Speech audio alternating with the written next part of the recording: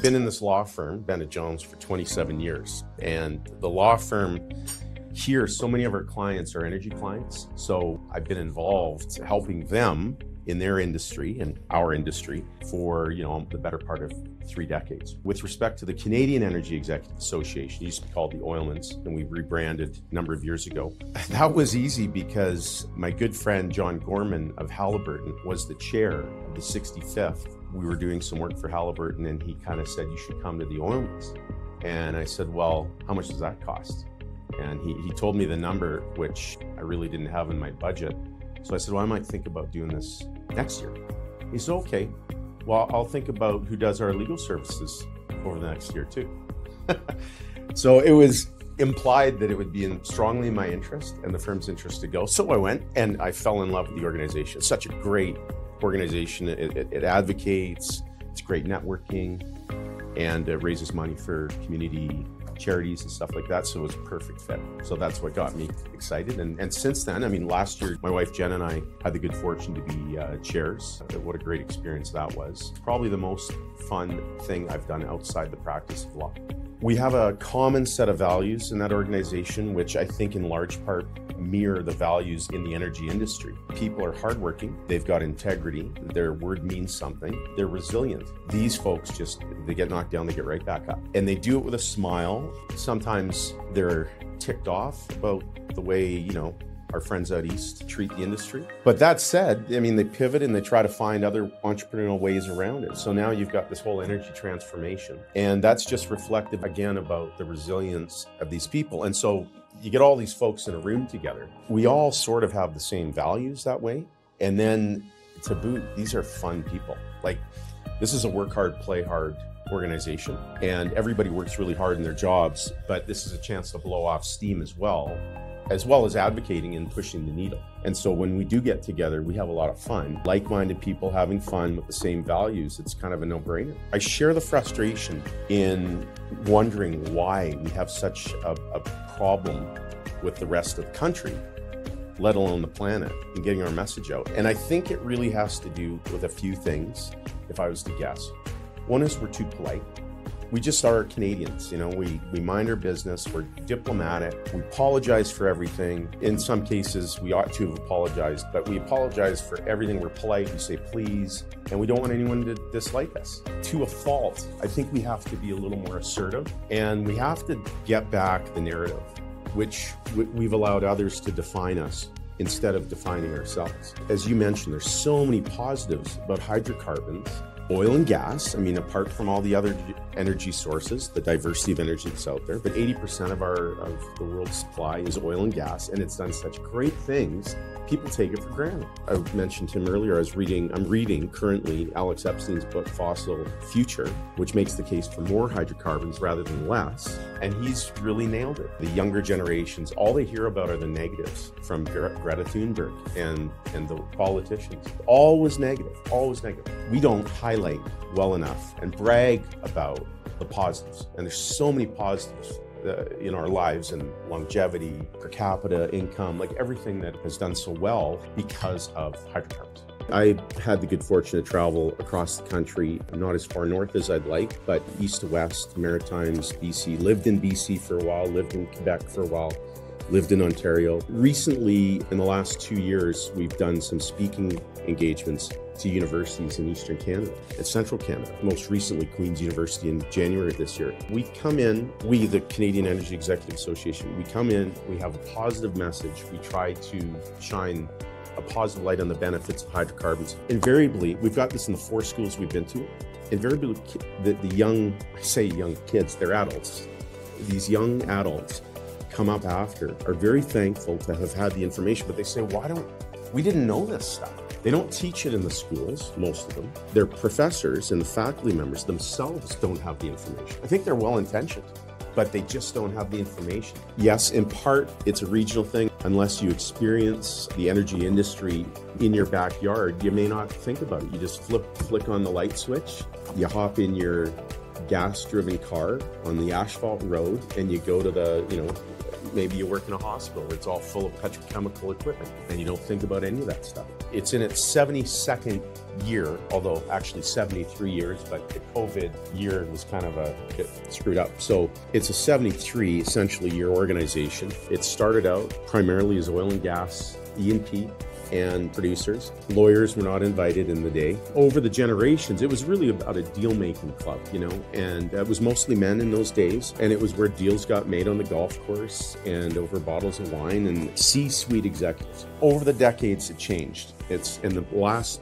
decade in particular, it's morphed into an organization that has a lot of deal making still, networking and C-suite, but it's there's a lot more advocacy. The organization just couldn't probably exist if all it was was a bunch of golfers and glass and bottles of wine. This organization realized we have to get out there and advocate. And in order for companies to send their executives to our golfing tournaments and our conferences, we have to have a message. We have to do more than just get together and drink wine. We have to actually advocate for the industry. So we started to do that. We've gone, uh, last year we started with a national engagement strategy going to universities. That's continued this year under Brent Nelson Quinton, who are our chairs this year. We've started an education fund that will award Indigenous scholarships and young professionals in energy scholarships. And that's a creation of Brian Ham and, and Deanna Ham, who are the vice chairs this year. And then we, our third pillar, so the first is networking, still deals to be done. Second is advocacy, and the third is community engagement and fundraising. And so last year we gave over 120 grand to um, the Alzheimer's Society in Calgary, which affects so many of us, as well as the Stardale Indigenous Women's Group. So advocacy, networking, and community involvement. Those are the three tenants. But it is I say to you, it's C-suite. It still really is C-suite. It's it's CEOs, CFOs, vice presidents, partners, owners, First Nation leaders, chiefs, but we've also spread our, our wings a little bit. We have last week, for instance, the Beyond Boomers conference, where we invite a number of young professionals. So they're not quite C suite yet, but they're the future of the energy industry and, you know, at a subsidized price.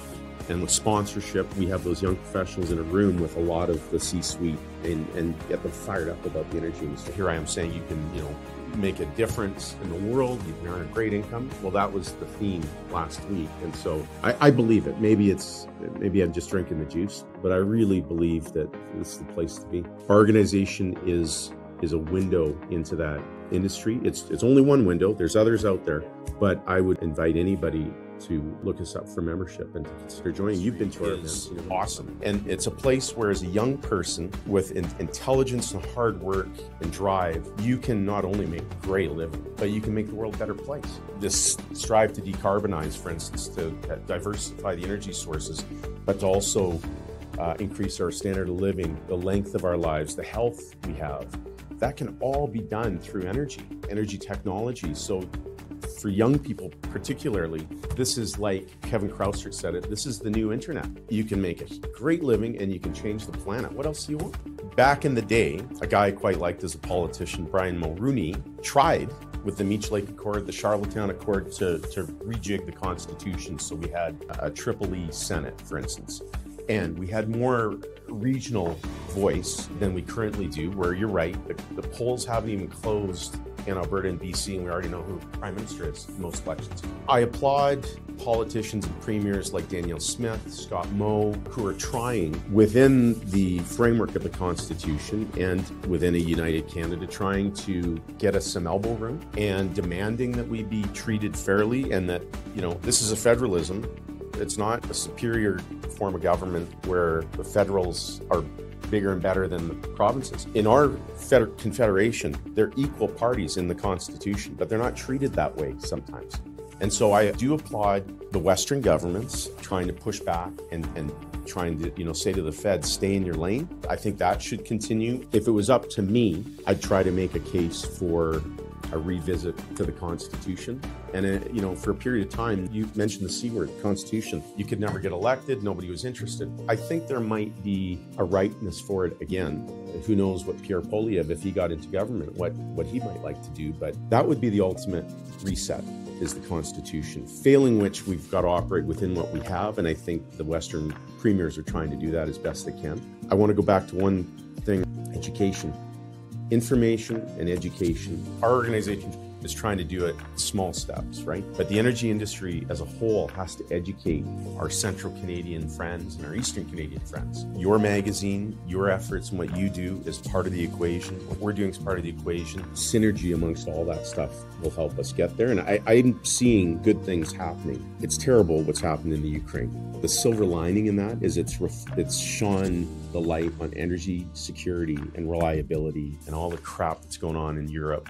And so it's given us an opportunity to get people's attention. And I think we're starting to move the needle. When Prime Minister Trudeau says there's no business case, really? There's no business case? Now, I'm mindful that he was not educated as a commerce student or did his MBA or ever worked in the energy industry, but presumably he's got some advisors. And I don't know where he got the information there wasn't a business case when two of your allies come cap in hand. I can only chalk it up to blinders and a view of hydrocarbons and energy that is basically keep it in the ground. I suspect the winds are changing, blowing a different way, and I hope in the next three to five years we get asked again those questions. Can can we please supply? But you got to build infrastructure in order to supply. This particular liberal government has done a very good job of preventing anything from being built. Ideologically uh, they're achieving their result. They're keeping it in the ground. It's frustrating as hell. I do think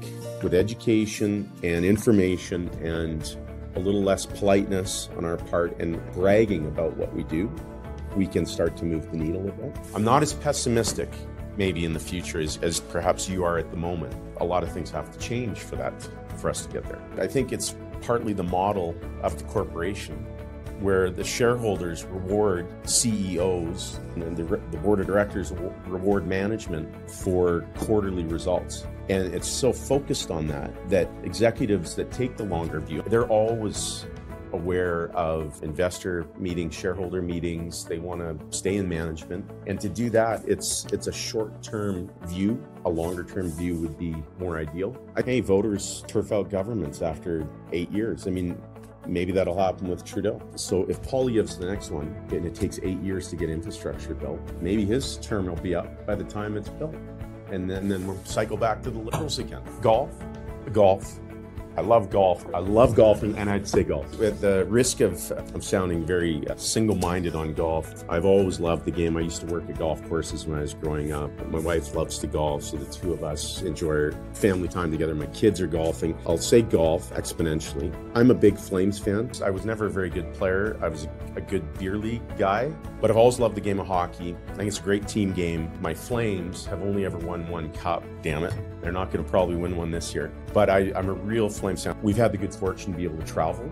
And with remote work, you know, during COVID, we were able to do some of that. We've enjoyed traveling, uh, my wife and I. I enjoy reading. That sounds pretty boring. Over the last five to seven years since I've been involved in this organization, I've really started to try to educate myself on it. And most of that's just been through reading.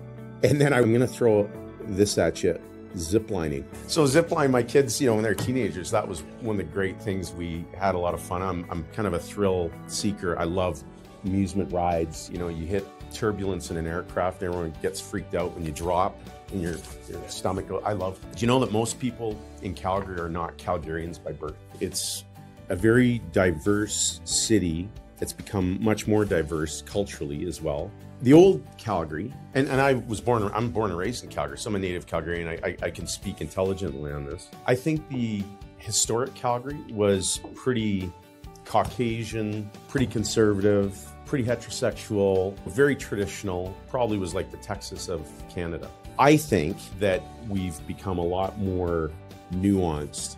We're a lot more diverse ethnicity as well as sexuality as well as political can you believe the NDP formed our government at one stage? I think people who don't live in Calgary, I don't think they realize how changed. Mostly for the better, I'd say. There are still some things that, as an energy guy, I'd like to have seen done differently. But our mayors, both cities, have been quite progressive over the last 15 20 years. And uh, I think that's reflected culturally. We've got a lot more going on in the city than, you know, Torontonian might think we do. I'm pretty proud to be a Calgarian, I'm very proud to be an Albertan. Also, something in the water here because when people arrive in Calgary, they they volunteer, they're entrepreneurs, they're hard workers, and they're resilient. It's much like the industry. They do, it, and I think it rubs off on people. First of all, if you can, come live, work, and play here because you'll see firsthand how great this place is and the people. But if you can't do that, at least support us. The values that we have, which so many other energy producing countries don't have, pat us on the back for that. Support us for that. So don't decry and criticize our industry when we're trying to do great things on ESG and we're moving the needle on all sorts of indicators which show that we're better than the other sources of energy out there, the other countries. So support us and in turn make the world a better place.